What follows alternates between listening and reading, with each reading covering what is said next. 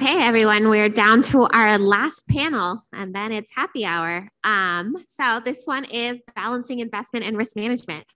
We have Avi Felman, who's from GoldenTree Asset Management. We have Jeff Dorman, who's from ARCA, Matthew Shapiro from Multicoin Capital, Shiliang from LedgerPrime, and our CEO, once again, Rayne Steinberg.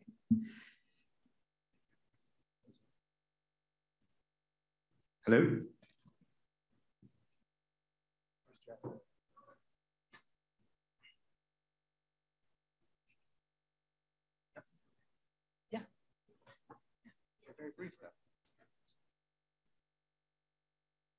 Jeff Dorman, report to the podium, please.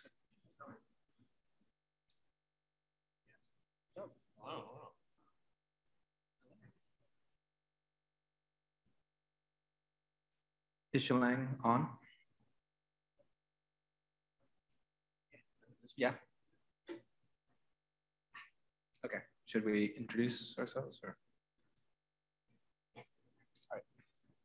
Rayne Steinberg, CEO and uh, co-founder of Arca, moderating. Let's just go down the line. Hey guys, I'm Avi Felman. I'm the head of digital asset trading over at uh, GoldenTree Asset Management. Uh, hey everyone, I'm Matt Shapiro. I'm a partner at Multicoin Capital. Hi, Jeff Dorman, Chief Investment Officer at Arca. Okay, um, when we contemplated this panel uh, and this entire conference, uh, it was a different world. Uh, we're talking about valuation metrics and things like that. I think let's go to risk signals and how we think about risk in the world. Who wants to take that first? I think uh, crypto is kind of a, an, an, interesting beast when it comes to risk because you have all these different traditional ways of assessing risk in the in the in the regular markets that don't necessarily apply in the same way in the in the crypto markets. I mean, one one one great example of this is you know we uh, we actually are, are, are just spinning up uh, over over the last couple couple of months our digital asset uh, trading and we're porting over a lot of the infrastructure that we're taking from the traditional side. And you know one of the one of the simplest things that you can do is you look at the diversity in your in your portfolio you look at all the different assets you hold and you think about okay well what are what are the different betas of these assets? Like if if asset a does this and asset b does that then what's asset c going to do in that certain scenario? And you look at the crypto markets and you think to yourself, okay, well, maybe I can do that here. And what you realize very quickly is that a lot of these assets are, are highly, highly correlated. Um, and sometimes betas, you know, an asset will go in one direction and it'll there'll there'll be another asset that's completely uncorrelated with it. And then three weeks later, they're going to be perfectly correlated. And so the betas are a lot more, uh, you know, uh, flexible in, in crypto than they are in the traditional markets. So that, that's kind of just one example of how malleable risk metrics are in crypto. And so a lot of the ways that you have to approach it are, are, are, are novel, right? You, you have to start classifying, uh, okay, well, what is, what, is, uh, what is the type of asset that I'm holding? How do I think it's going to react in, in, in, cer- in certain regimes and really think, you know, holistically about uh, what, are the, what are the drivers of each asset and adjust for the fact that you can't necessarily just rely on simple quantitative frameworks because those quantitative frameworks are reliant on you know one to two years of data at best in current market structure. And you have to think to yourself hey well if i'm only relying on a few different sample data points and i have to think about this really holistically. So there are a couple different you know tricks of the trade that we can we can definitely get into on the panel. But i think um, you know a, a, qualitative assessment and quantitative assessment is a lot more important in uh, crypto risk management than it is in traditional risk management where you can use a lot of just hard quantitative metrics to assess the risk of your portfolio and so that's you know one of the newer ways that we're approaching the, the crypto market. And I think that requires a, a pretty deep understanding of, of crypto assets. And if you don't have that, then it's a little bit a little bit tricky to assess your risk. Well, I, I think I mean you're, you're absolutely 100% spot on. But I would add to that that um, there's a, there's a big difference between first of all the risk is more than just price, right? So in this space, you also have risk of every single counterparty is brand new as well. The exchanges are brand new. The funded admins are brand new. The custodians are brand new. So, you know, that's a whole other story. But there's there's there's risks beyond just the price of these assets that also require a lot of due diligence in the space. It's not two guys in a Bloomberg where you just plug into your prime broker, you hit go, and you're in business. Um, there's a tremendous amount of operational due diligence that goes into the space. But in terms of price, I think what Avi's saying about the correlations being malleable is, is really important, right? I mean, I've written about this space every week for four plus years now. I've written about the correlation to the Chinese yuan to gold to the US dollar to equities to even avocados, right? The, the data changes constantly. Um, so you can't be too wedded to some of those inputs. Um, but also you have to you have to really separate the difference between price risk versus business risk. Meaning, let's take what happened to Bill Hwang at Archegos Capital, for example. You know, he owned a lot of different stocks, things like Viacom and Baidu. The businesses of those companies do not have any correlation whatsoever. But the price of the stocks had very heavy correlation when one person decided to sell them all at once because of a leverage margin call, right? The price risk became very correlated. The business risks of the underlying companies were not. The same thing is true in what Avi was referring to is that right now the price risk, the correlation is one in all digital assets, right? No matter what you are, if you're wrapped in a digital asset wrapper, you are being viewed as the same risk. But there's a big difference between say five companies or projects that are 100% reliant on Terra Luna, and therefore when Terra Luna goes down, those five businesses fundamentally also go down, versus two projects where have totally different uh, inputs and outputs to the success and failure of that business. But right now the price just happens to be trading together. So separating out those inputs and those outputs is also really important, right? What is, you know, why are we able to call a healthcare stock defensive versus like a tech stock, right? Because we have hundreds of years of history of the fact that healthcare companies, the demand for healthcare doesn't go down because of a recession, right? We don't have that data in a lot of cases with digital assets. In some cases, we do. You know, we know that, for instance, something like Ethereum has very different inputs and outputs to success and failure than something like Bitcoin. Totally different business models, price very correlated right now. So the, the, you have to be cognizant of, of what you're actually trying to assess when you look at risk in this space. Yeah, I think I think you have to know what you're underwriting. I think co- correlations quantitatively are, are one thing, but crypto is very nascent and everything else is nascent and it's open and it's composable which in many ways is its greatest feature. In other ways it creates you know in some forms multiplicative risk if you're, if you're not really sure what you're underwriting. And so if you have a layer of the stack here and a layer of the stack here and a layer of the stack here you know if you're investing up here you sort of may think oh i'm investing in this sort of like business model you know sort of like jeff was saying. But if that business model is entirely dependent on everything else, it kind of could look like Jenga. And so you really need to understand what are the true multiplicative layers of risk that you're taking to the extent that you are? And like how do they correlate? And what is like the path dependency of all of these assets? You know they're all very young at the end of the day. Um, there's a chance they all collide into each other you know depending on you know how, how the markets play out. And so i think you really have to step back and like really have a thesis of uh, and understand truly what you're underwriting and like what are the key inputs and constantly test against those inputs to make sure that the thesis is intact. Um, and i think it comes down to that also like rolls into obviously portfolio construction. Like it's okay to have you know, we have like very pointed views in some aspects of this space, like smart contract protocols. Um, we're comfortable with that. That's what we do. We like it. But there's other ways in the portfolio to sort of diversify that risk, you know, and other assets that are Web3 that are maybe more chain agnostic. And so when you look at the overall portfolio, you get uh, ways to express your perspective um, and do so in the way that you want, but also do it, you know, from a risk adjusted basis. Thanks. Shiliang, do you have anything to add there? Yeah, I would just, you know, completely agree with everyone. I think um, you know, for us, we're a little bit different from, from some of the other you know, investors and, and funds here, right? we we approach it more from a quantitative and systematic approach. And, and I would say that um, the, the point I would make is like one, there, there's, you know, we, we, probably touch like the longer tail of assets and, and tokens than, you know, everyone else, um, you know, on this panel. Um, and so, you know, there's, there's 20,000 tokens. Um, I think we'll probably discuss later on this panel that a lot of them do have value and, and there's, you know, great ways to kind of value it. Um, but also the vast majority of the 20,000 tokens are probably worthless. And so when we approach a space, we, you know, when you're trading or touching, you know, these assets and the majority of them probably are worthless, we think of it more from just a pure liquidity perspective, right? Like it becomes a player versus player um, kind of mentality. Like where is the liquidity? How is everyone positioned?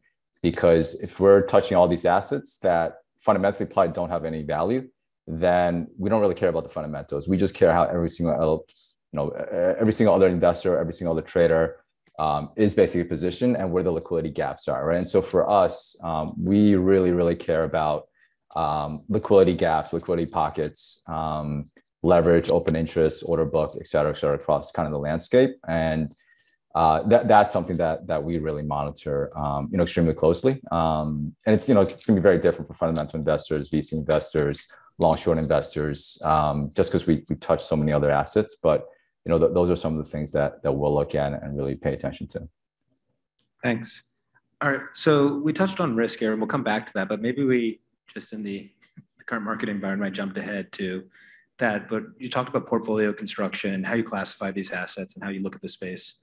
Um, how do you bucket this and think about portfolio construction and that? Uh, yeah, I mean, I'm laughing because the space evolves so fast, and I should, I should probably have a better answer to this. But like, the space is at this point, it's not that dissimilar to the S&P 500. It's not nearly as mature. There's not nearly as many companies, but you are starting to see segmentation across the entire crypto landscape of things that are just mutually exclusive and very different from one another. Um, the way that sort of, you know, at least I think about it is, you know, I think about smart contract platforms as sort of like the base layer. They enable, you know, a ton of innovation and infrastructure on top. From there, you know, I generally bucket into sort of open finance, which, which I would categorize as sort of like, you know, DeFi, um, anything that's facilitating financial transactions, removing um, excessive fees, pushing value back out to the edges of a network, right? All of that fits in what I would call open finance. Everything else kind of fits in, you know, Web three, which is like building tech infrastructure that's decentralized. you're not relying on Amazon, you're not relying on sort of the Web two companies, but you're building this entire stack, you know, in a in a decentralized way, sort of from the ground up. Um, and then within each of those two, like you could break it down into lots of different areas, right? Like open finance is, you know, do you have stable coins, units of account, execution layer, oracles, borrow lend protocols, yield aggregators, right? There's all these different layers within open finance. Within Web3, you have the same thing, right? You have file storage, you have query layers, you have private key management, right? There's all these segments of the of the of the uh, segments of the of that market that are all sort of coming together in their own unique ways. And then on top of that, you're starting to see like what I would call like applied infrastructure, although there should probably be a better name for it, which is things that like are hard to bucket, right? but they're solving real world problems by leveraging all the tech underneath it in those two categories, right? Things like Helium, things like Audius, things like Braintrust, um, where you're starting to see more consumer facing applications that are leveraging either all or some portion of this decentralized infrastructure that's being built. And like that is continuing to scale horizontally, it's continuing to scale incredibly fast uh, because of composability, um, which makes it like a hard question to answer, like how do you bucket it? Because like maybe that's not the right way to bucket it today, and it may not be the right way to bucket it tomorrow because of how fast things change. Yeah, I'd, uh, I'd, I'd, I'd hop on that last point and say that it's becoming increasingly difficult to actually bucket specific, uh, you know, companies, protocols, tokens, uh, because the beauty of crypto is that so much of it is open source. Basically, all of it should be, and that means that there's infinite leverage. If you if you're running a borrow lend protocol and you want to go add an exchange to your borrow lend protocol, you can go do that pretty quickly and pretty easily. And so what I'm actually seeing is I'm seeing a lot of projects, you know, pivot, change, something that might be an exchange one day will be a borrow lend and exchange another day. In fact, recently had a conversation with an exchange that looked at me and said, "Hey, what do you think uh, about building our own L1?" Because now L1s are easy to develop with, you know, the Cosmos SDK with with AVAX subnets. And so what you're seeing is you're seeing a lot of experimentation happening in crypto. You're seeing a lot of, you know, what, what actually used to be more siloed buckets sort of wrap into each other because of the fact that it's so easy to create create things in crypto because of the tremendous amount of leverage. You're, right? you're basically describing vertical integration, like immediate Correct. vertical integration. Correct. That's and that's I think that that's what's happening in crypto and, and people are people are trying out different ways to, to vertically integrate and some are being successful and, and some aren't. But I'll say that I, I've definitely over the last six months seen a trend towards a lot more malleability around what people are building whether it's you know oh originally you know i'm building a defi project now it's i'm building a defi project with an l1 attached to it and you know i think that there are still a bunch of really difficult tech problems that we can solve in crypto and so you know there are still silos because it's it, it still is difficult to build an extremely scalable l1 from scratch. That's that's a very difficult thing to do but i'm seeing a lot of uh, you know bucket overlap these days. I, I think even though you guys both painted a picture of kind of a broad based industry, I actually think you guys didn't even go broad enough in the sense that, like, I'm, a former fixed income investor, right? If you guys have ever have ever read the Frank Fabozzi Handbook of Fixed Income, you know it's 1,450 pages that will put you to sleep because it is so much going on in the bond market from who's the issuer type? Is it a government, a muni, a corporate? Uh, you know, what type of bond is it from a rating standpoint, investment grade down to high yield? Is it a callable, puttable, a convertible, a preferred? Uh, you know, does it have negative covenants? There's all these different factors that goes into fixed income. The same thing is now true of digital assets. You start, first have to start with a much broader taxonomy before you can get down to the sectors and the buckets, meaning who is the issuer of a token? It can be an individual, a person. It can be a decentralized autonomous organization. It can be a corporation. It can be a government. Then where do you fall on the, on the spectrum from fully decentralized to fully centralized or somewhere in between? To what type of token is it? Is it a cryptocurrency like Bitcoin or, or all the Bitcoin forks?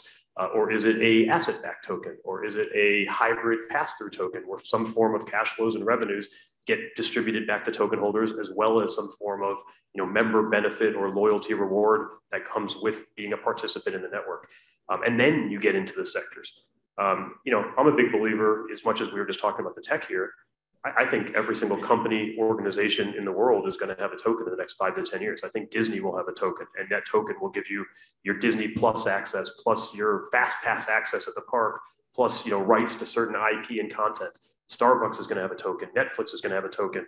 New York City is going to have a token. You know, that token is going to fund projects instead of revenue bonds and go bonds.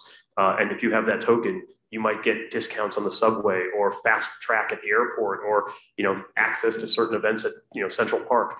I think every university is going to have a token. Your kid's going to be born. You're going to buy, you know, NY, you're going to buy NYU token. And in 18 years, if they don't go to NYU, they're going to trade it for Duke token. Um, like that's where we're heading. And that has nothing to do with technology. It has to do with the token structure itself is the greatest capital formation and customer bootstrapping mechanism that we've ever seen. And it fully aligns all stakeholders.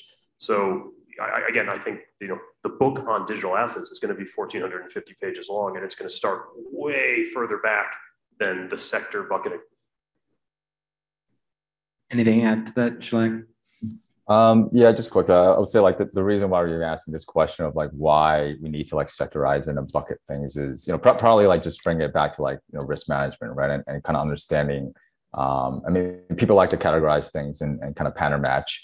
Um, but I'll add like you know taking a simple example like borrow and lend platforms, right? There's multiple borrow and lend projects on like every single layer one now, but they are all kind of behaving differently from a price. Um, and risk perspective, right? Risk returns, et cetera. And the reason ultimately I think comes down to my first point is is ultimately depends on who the holders of the tokens are, the, the stakeholders, investors, um, and like the liquidity of all these projects, right? So I think um, as we're trying to like you know bucket and, and assess the landscape of like a lot of these really kind of copy paste like same projects across the ecosystem, but but they all kind of behave a, a bit differently. And, and, the reason I think ultimately kind of comes down to just um, really the holders and, and liquidity of, of these kind of you know different projects. I want to I want to spend like two two more seconds on this topic because I think Go. there's a couple more interesting things to say here, and uh, I'd be curious to get your guys' take on this. But I think you know concretely, if you want to take away something from this, hey, I'm looking at an asset. How how should I how should I think of it?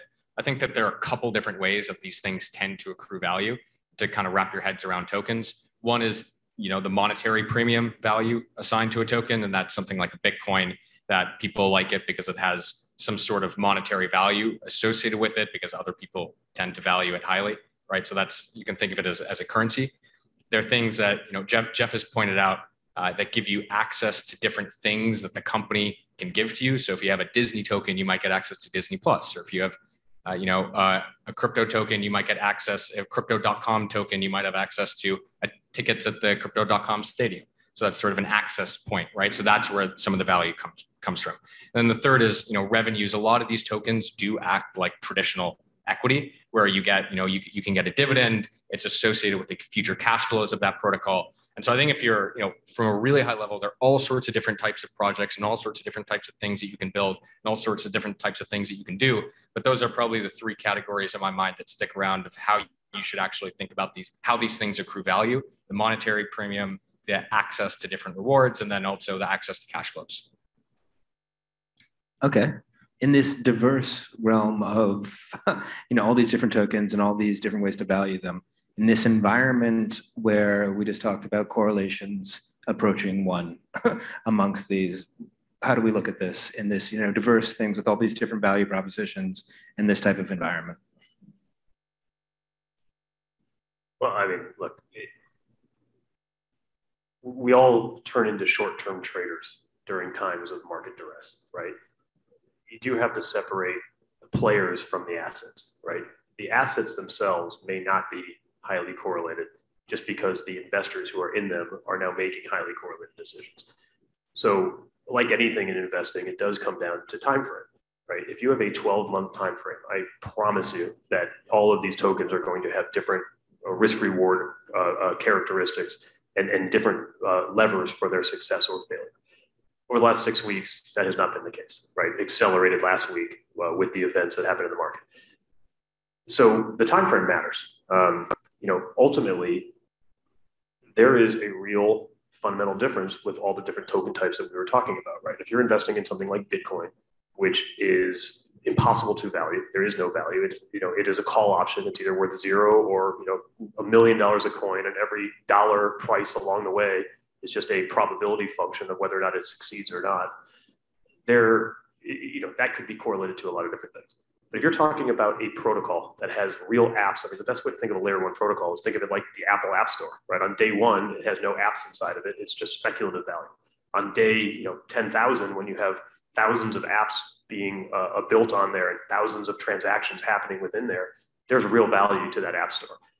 That when that becomes a more mature protocol, which is you know certainly Ethereum right now, and then uh, you know a lot nipping at Ethereum's heel in terms of uh, users and growth. Like there's real revenues, real cash flow, real business happening on there. There is a real floor and a real intrinsic value to what that is worth. Now, it doesn't mean it trades there. It can trade anywhere, but there is real value to what that is worth.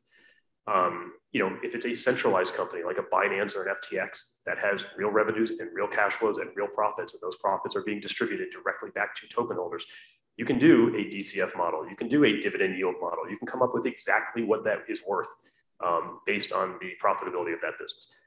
Price can do whatever it wants, but the value is actually worth something. And over longer periods of time, and I can't define what that is, you know, who knows how long we're going to be in a stressed environment. Uh, you know, if you saw today, there was 1.9 trillion of reverse repo, which means that, you know, this is not a credit crisis like 08 where people don't have money. This is a market where everyone has money and nobody wants to spend it. When people start spending that money again, the value actually starts to matter again. So there is no doubt in my mind that the correlation is spurious and it will eventually uh, be dictated by real value capture. Yeah, I mean, I mean, the world is in a weird place, and I think we've seen historically, like when people panic, the correlation of almost all assets. assets are one, right? Cash, cash is king. People go into cash, they triage their balance sheet, then they figure out what do we do, right? And so, crypto is a risk on asset you know, we can make an argument that Bitcoin is store of value and all these other things. Like the truth is, it hasn't yet been tested. I think if it's going to shine, like this is probably the right environment, right? You got inflation, you got war literally happening, you got Fed hikes. Um, so there's a lot of different things that are that are happening. And so I think interestingly, not only is crypto risk on, it's also the most liquid asset that you own, right? If you own crypto and you want liquidity, like, and it's a weekend, like you could sell a billion dollars of, you know, Bitcoin or crypto at 10 o'clock at night on Saturday. I'm like, you can't do that with any other asset in the world, interestingly. Um, and for a lot of people that own crypto, like they're up. So psychologically, like it's very easy, it's easier to part with, right? Like at least from, you know, from a, from a mental framework. The, the question is like, what happens next, right? And there's been precedent of this before. Right now, like everything's being driven by global macro until people feel comfortable. Crypto is not immune to that. But a lot of groups now have cash. What are they going to do with it? They're not going to sit in cash at 8% inflation rates. That cash gets deployed and has to go elsewhere. I think like what Jeff was saying, like hey, here's a, an asset class that's generally historically been uncorrelated to everything else that every institution in the world is is sort of woefully underexposed to um, if it works to any degree that we think it will. And like there's real value that's being created in ways that are uh, in, in a way that is different than the exposures that they already have right? And so i think that i feel pretty confident over a reasonable period of time that like more people are getting interested in crypto. We see it all the time with the groups that we talk to. It, it astonishes me every day like the, the people that you know in our network that, that we get to talk to amongst founders allocators tech companies et cetera. So like we see all of that happening and like we're just in a spot where you know volatility is, is high and correlations go to one but there's plenty of historical precedent you know we saw with china cracking down on crypto the entire market went down to one. That was pretty extemporaneous. It affected a bunch of chinese you know miners. Um, that's mutually exclusive to ethereum or solana or helium or all of these other assets that have their own business models, their own cash flow mechanisms, et cetera. And that turned out to be a buying opportunity. COVID was the same thing, right? And so I think you're just in a weird spot today where volatility and, and panic is sort of reigning, and that's causing correlations to go to one.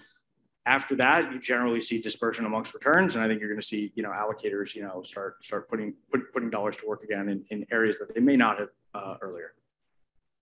Yeah, I uh, 100% agree with both both of what you guys said. I think uh, I think if you look at crypto the fact that it's considered an asset class is purely out of convenience they're going to be real estate companies that use crypto and blockchain tech. They're going to be airlines that use crypto and blockchain tech. They're going to be financial companies built on crypto and blockchain tech. And the, the fact that it's considered just a single asset class and that's crypto yeah. is kind of an outdated concept. I mean, it's true now, and the correlations are super high now, basically for one reason and one reason only. And that's because they have a tremendous amount of cross asset holders, right? Like if you, most people that own one crypto own a bunch and they own a bunch across a variety of different industries and you know own a bunch of different cryptos that do a variety of, of, of different of different things. So in times of stress and you know when things are going up people just kind of buy crypto because it's a new hot thing. But considering crypto an asset class of its own i actually think is is incorrect in the in the long run. And like the next five to ten years what you're going to see is you're just going to see a lot of companies building on crypto rails that uh, inevitably will become decorrelated over time because the reality is that they're doing completely different things a lot of them right? Some of them are doing very similar things but if you look at the broad space a lot of different things happening right? And so you know i think it's kind of like looking at march 2020 and if you know everything's crashing you look at hertz and you look at a bunch of real estate and you're like well you know real estate went down with hertz so they're basically the same thing and that you know that sucks. I'm not going to buy any real estate anymore. Just doesn't really make much sense. I think you know as uh, as as the market as the market matures and people realize that these assets do very different things in, in aggregate, then they're going to start to decorrelate. But for the time being, I'm I'm happy to trade the correlations. Okay, when you think about kind of this diversity of this ecosystem, um, you see broad themes emerge, and we've seen in the past. How do you identify these themes, and how do you think about like thematic investing in this space? Like, where do you see interesting things emerging? I just spend all my time on Twitter. It's where, it's where it all happens. I'm only I'm only half kidding. Is there? There's got to be something else too. There, yeah, the rest, the, rest, the rest, is on Telegram. Yeah, or just brutal. I, I mean, like the, the, the as Avi was saying a minute ago, like it's very possible this isn't an asset class. It's very possible this is a technology that underpins all asset classes. Every equity, every debt, every real estate, every personal property, everything is going to be represented in token form at some point. Um, as a result, you know, a lot of people, especially you know people who've already heavily invested their time and money into the space, sort of see an, an, an inevitable future, but not necessarily a clear path for exactly how you get to that future. And that's really what you're doing from a thematic investing standpoint. In the same way that, for example, if you wanted to invest in the internet in the 90s, there weren't a lot of choices, right? You largely had hardware companies, right? You had like Dell and EMC, you know, eventually then you had dot coms, right? And everybody was a internet native company, right? 20 years later, everybody's an internet company, right? Domino's Pizza is an internet company. Hertz is an internet company, right? JP Morgan is an internet company. Nobody says dot com anymore. It's just assumed that you're a dot com we're in the early stages right now where everything that has a token is a crypto native company, right? This is still the hardware or software phase of like everything that is being built is a crypto native company. We haven't had the Disney token yet, or the Netflix token yet, or the Starbucks token, or the NYU token, or all the things we, we talked about. You know, when that happens, everybody is a blockchain company, and there is no such thing as you know a, a crypto native company anymore. Um, as a result, what we're doing from a thematic investing standpoint is we're trying to find, from a top-down thematic standpoint, how do you get from where we are today to that inevitable path that we all think is coming? Um, in the last four years, there's been four real success stories, right? Bitcoin is obviously one of the success stories. Now you could argue that maybe it shouldn't have been, but it clearly is, right? I mean, it's, it's almost a trillion dollar asset at one point, and every single person in the world knows what Bitcoin is now. Um, stablecoins went from zero AUM two years ago to 200 billion at its peak. That's a success story uh, as a theme.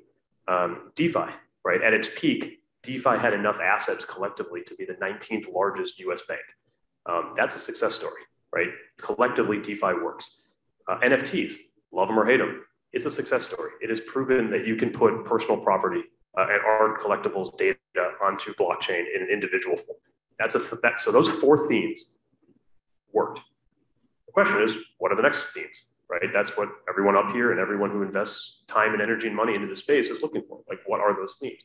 Um, so what we do, whether it's on Twitter or Telegram or anywhere else, like we are looking for where is the developer action? Where are people going to? Where are problems that need to be solved? Right. The greatest thing about the wreckage of the last week, uh, you know, there's a real duality building here, which is like, you know, we're, we're used to moral hazard in the debt and equity world and, and the Fed put, where every time there's a fire, inevitably somebody puts it out.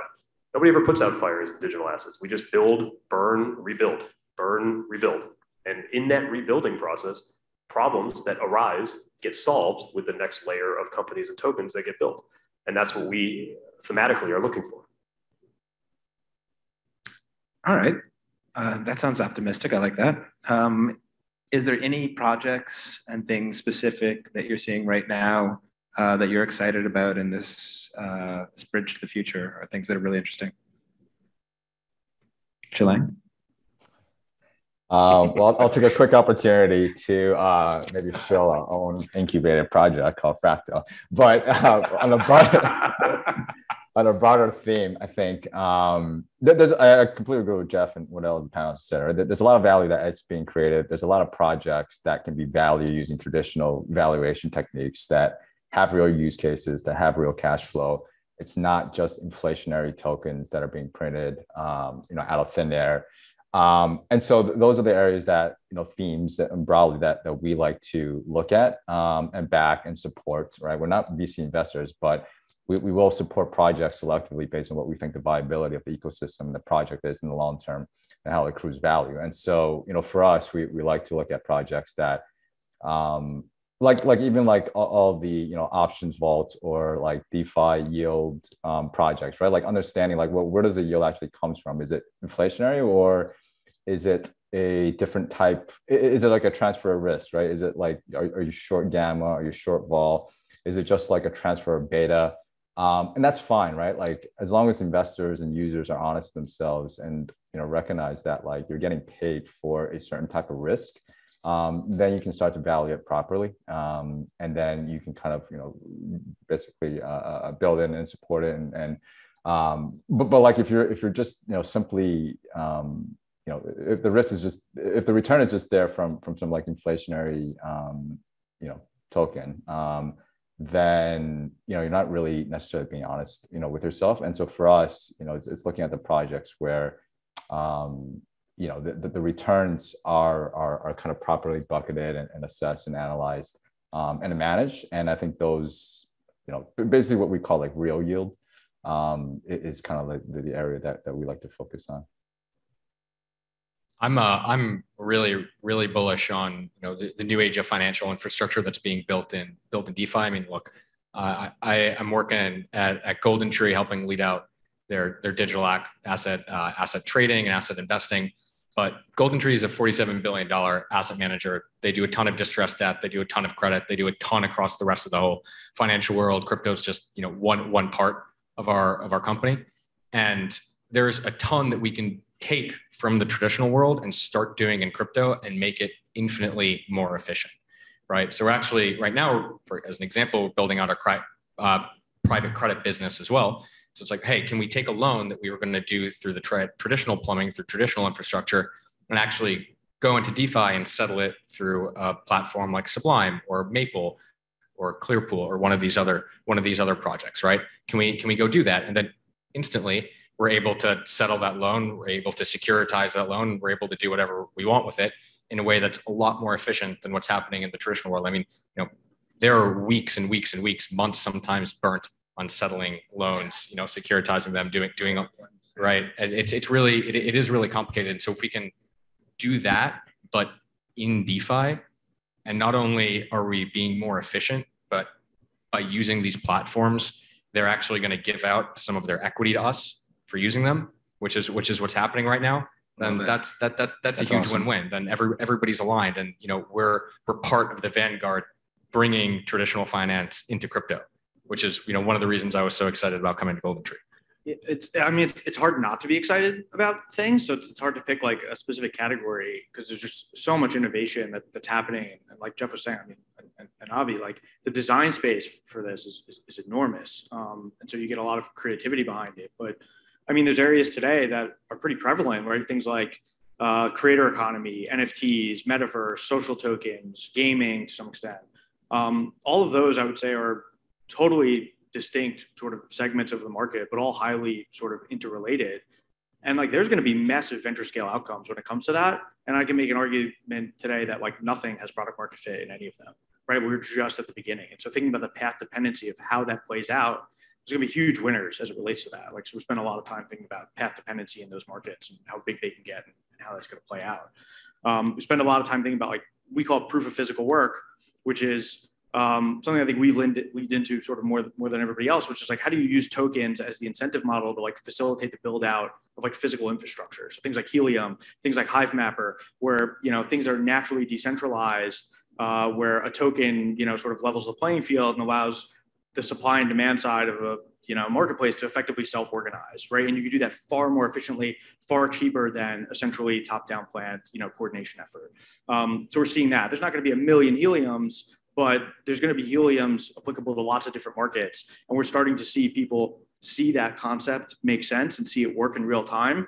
And that's getting the creative juices. Now we're starting to see all sorts of entrepreneurs that have nothing to do with crypto. They're not crypto native, but they have really deep domain expertise in their specific market. And they realize that like crypto is how they bend or break the rules of that marketplace. It's how they compete with an incumbent. It's how they like change the cost structure of something. And they realize that crypto is the answer to their problems. They want to work with the right people to help bring it to fruition. Like that's really exciting.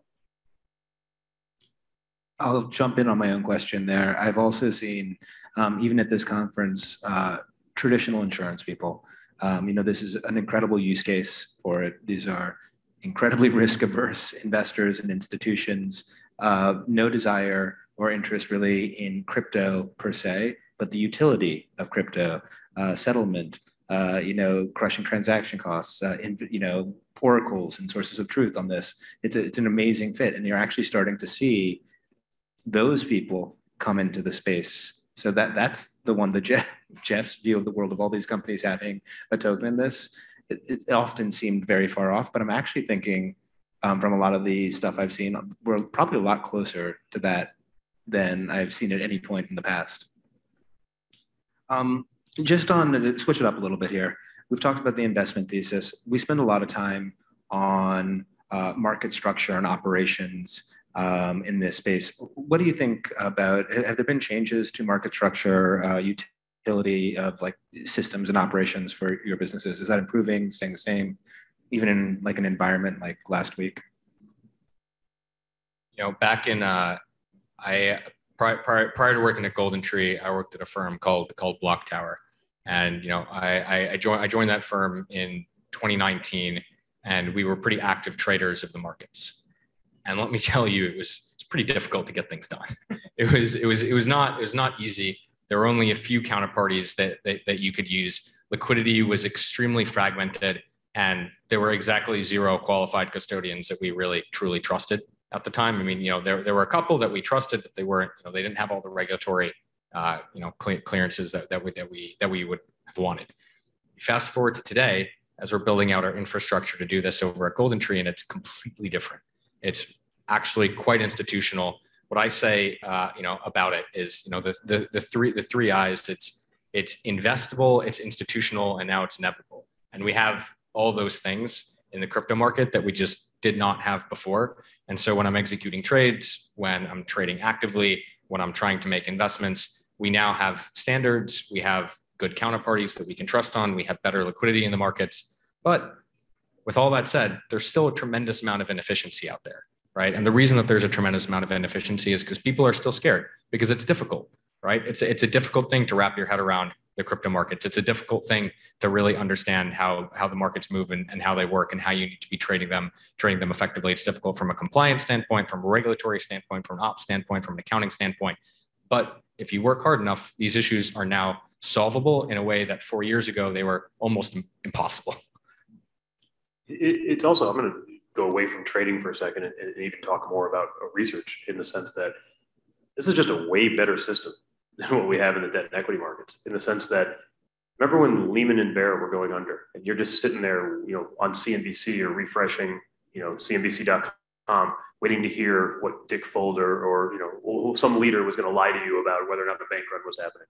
We just had, you know, everything's fine, everything's fine. Our customers are, you know, believe in us right? Or, or you know, what's going on in the repo markets? You just wait for a Fed governor or Treasury secretary to lie to you about what's going on. Um, we just saw a 18 billion dollar bank run in two days on Terra Luna on chain in real time, where everybody had the same data, right? You know, earnings season just finished, right? It's it's what middle of May. We're finding out things that happened on January 1st. Cool. That's you know four and a half months later. Uh, you know, or you get maybe an 8K once in a while we get real-time data every single day. We get an 8K basically all day, every day in real time into what is happening with the health and, and, and uh, of these businesses and protocols that we're investing. That is a way better system. There is so much more transparency and data and information. Now, 99% of the world has no idea this exists or certainly how to access it or how to read it, but it exists, right? That's what the blockchain is. Uh, it is a transparent ledger. So you know, we may trust the debt and equity market because it's been around for hundreds of years and we've all been conditioned to believe that that's the best system. But I can tell you, having done both for my entire career, that it is not. This is a much better system that is just not fully adopted yet. Uh, thanks for that. Um, time for questions. And if we don't, oh, we have. We solved blockchain. Nobody has a question. Exactly. No, we have a question. Um, do you think those like play to earn, move to earn, those projects have real um, value or can survive, or those will eventually all go out? 100% they have value, in my opinion, basically full stop. I think that a lot of the current iterations of play to earn obviously are uh, difficult and very Ponzi esque. But if you think about it, right, they're, they're caddies for the golf course and when you want to go play golf, you can hire somebody to carry around your golf clubs. If you ever played video games, sometimes there are things that you, you kind of have to do in order to get to the next level that you might not want to do. And you can just pay somebody to do that. And that's actually been happening for the last 20 years in video games. And this is just a way of basically institutionalizing that, right? And making it easy and, and actually integrating that into the game and providing specific jobs to specific people for doing specific tasks. And, you know, I think that that's kind of kind of here to stay. I think that the current iteration of it definitely got way overhyped and way overblown. But the concept of a job, you know, that helps other people relax better by playing video games is actually, I think, quite quite awesome. I also argue that on ramps into digital assets matter a ton. Um, four or five years ago, every single person who was involved in this space came through Bitcoin. They had an opinion on Bitcoin. They owned Bitcoin first. That was the only on ramp, and everything you did from there was a derivative or an offshoot of what you did with Bitcoin. You have people using, you know, STEPN, you know, move to earn apps. You have people using, you know, a, a play to earn gaming apps who don't care at all about digital assets. They don't care at all about Bitcoin. They could care less about the underlying infrastructure in the same way that when you send an email from your Gmail client to someone else's Yahoo Mail client, you couldn't care less about the SMTP protocol that makes that happen. That is the kind of consumer adoption trend that makes this end up in everybody's wallet, right? Like, you know, when I got my first iPhone in 2009, I didn't care about games. But once I was in the ecosystem, Angry Birds ended up on my phone because everyone was talking about it and it was just there. The same thing's going to happen. Someone's going to use a move to earn app or a play to earn app and once they're in the ecosystem, they're going to find out about Ethereum or Solana or about DeFi or about stablecoins, and it just it just builds on itself. So, so, to have real consumer adoption with things that are not quote unquote crypto native yeah. is a huge deal. It, it, it, I think it's here to stay. I think it's a great onboarding tool. It definitely will be iterated on in a, in a positive way, but I tend to think that it's not going to be the reason that something wins. Um, I think it's going to be the reason that something wins is going to be everything else around it. And crypto is what sort of bootstraps it or puts it on steroids or, you know, really creates a network effect around it. Like the, the thing that you're doing has to have true value for you. You have to enjoy doing it. Like Axie Infinity is cool, but it's not like particularly fun. I don't, I don't know if you played it. It's not a fun game. Like I would go so far as to call in other areas of the world, you call work. Like I think that's work to grind. Um, but like it's unlocked this new behavior that I think you get more creative people to figure it out. I think there will be a game that is huge and it's a great onboarding tool and people use it and it's all driven by crypto and crypto is a key part of it but like the game has to be fun right? You have to have all of the traditional gaming sort of all the characteristics that make a hit game right? Like that's got to be what it wins on and i think crypto is sort of what takes it to the next level. I think like STEPN and move to earn and other things like that like it has to be fun. People have to use it natively because they want to and i think crypto is a big piece of it. I don't think it's the only piece that matters Any other questions?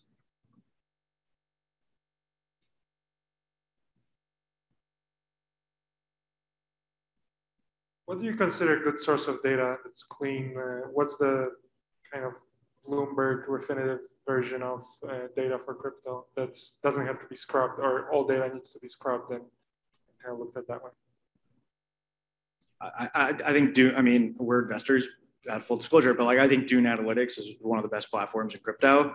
Um, you obviously have to search for what you what you want, but it gives you the ability to query things, it gives you the ability to fork things. You can pull up tons of dashboards. You can pull up dashboards that people use every day. You pull up dashboards that people are creating in real time. Like it's very community driven, bottoms up um, incredibly, incredibly granular and real time. Like Jeff was saying, like the look that you get into these systems in real time is, is truly unparalleled relative to the status quo of every financial market and everything that exists in the, in the traditional world. Um, so I, yeah, Dune, I think Dune Analytics is, is by far the best. It's something that I, I literally use every day. I mean, I actually wrote a blog about this, I think six months ago. Maybe we can I'll dig it up and send it to anyone who wants to see it. But like, there's a tremendous amount of information out there from Dune Analytics to the block to uh, uh, Messari, um, to uh, a token terminal. Token terminal is doing you know revenue and cash flows. Um, you know there is basically an unlimited amount of free. Actually, Skew, which got bought by Coinbase, is another good one. But there there is all the data is freely accessible to everyone, right? It, basically, everybody has all of Bloomberg's data, but not everybody has figured out how to pull it all together, and that's why these different applications allow you to do it. But you know, again, the, the, the blockchain itself is the ledger. Uh, the data is all there. You know how to extract it.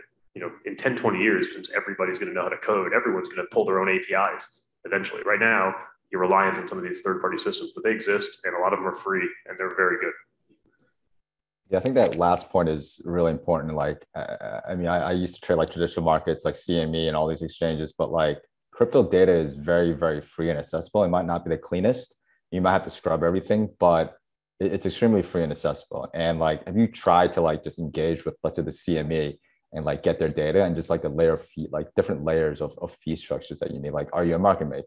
Are you like an academic? Are you a researcher? Like, are you like, there's like 10 different layers and it's extremely expensive and convoluted. Um, and there's none of that in crypto, right? You can just hook up your API to like a Coinbase and just scrub the data yourself. You can, if you're smart enough and you know like Solidity and different like on you know blockchain, language, you can basically scrub that data yourself and pull it, right? And you can't do that in traditional markets. It's, it's actually embarrassing how wrong equity analysts are on Coinbase's earnings every quarter because you can literally get their volume you know, every hour on the hour. You have their volume information, and it's a very easy formula what they earn per dollar of volume that goes through since 99% of their revenue comes from you know one source like that just shows you again from an early standpoint how little these tools are being used despite being freely available and and and that's that's like part of that's part of the edge and part of the inefficiency too is um, it's not that there's no data. It's just that there's no central repository. There's no edgar right? It's not everything does go into edgar and get disseminated to bloomberg and thomson and capiq and everything else and everyone gets at the same time. It doesn't mean that it is not there. It's just everywhere. It's real time and it's fragmented. And like like it or not to do the job today you have to be on every blog. You got to be on twitter and telegram and whatsapp and wechat discord and reddit and i don't know a million other things I'm forgetting. So the information is there. The hard part is it's incredibly fragmented. It's fragmented by medium. It's fragmented by geography. Like what you really have to do is take all that information, and figure out a scalable way to do it, bring it into your central place, and then figure out, okay, how do I create insights and make actionable decisions based on all the data? I think there was another question. Guys, um, to what extent do you think uh, decentralization will matter uh, in the uh, in the future? Because right now, every DApp is centralized. It's running on AWS, or it's hooked up to blockchain on Infura Alchemy. Uh, you know, to what extent do you think the market will care that you know part of the infrastructure isn't decentralized? Great question. I think majority of people really don't care, right? Majority of people just want something to work and they don't really care how it works. But there are is there is a growing part of the population who really does care about decentralization, right? You know, everybody here in the U.S. can you know joke about what happens in like a place like South Africa or Venezuela or China, right? It doesn't hit home until it happens in a place that feels real, right? Look at the events of February and March of just this year. You had Canada completely restricting the assets of their constituents. You had Russia, you know, a, a few oligarchs decided to just tank Russia's economy for a war you had the US and, and the EU uh, uh, having swift sanctions on, on banks around the world. Uh, you even had the London Metals Exchange just decide, you know what, we're going to cancel a bunch of trades. Sorry, guys. Uh, all of a sudden, you start to be like, huh, that could happen to me too. Um, that's really scary, right? When you start to learn that your assets are not actually your assets, they're somebody else's liability, and whether or not you can collect on that liability is now in question. So there is a growing part of the world that really does care about decentralization. Um, it's not for everybody. Again, a lot of people just want things to work and don't really care. But you know, there's a growing, growing uh, uh movement of trying to move away from that. I, it's a it's a spectrum, right? I'm like no one knows. What, I think if you asked everyone on the stage, like even everyone in the audience, like what is some like what is your definition of decentralization? Like you will not get the same answer twice because nobody, frankly, everyone has a different viewpoint.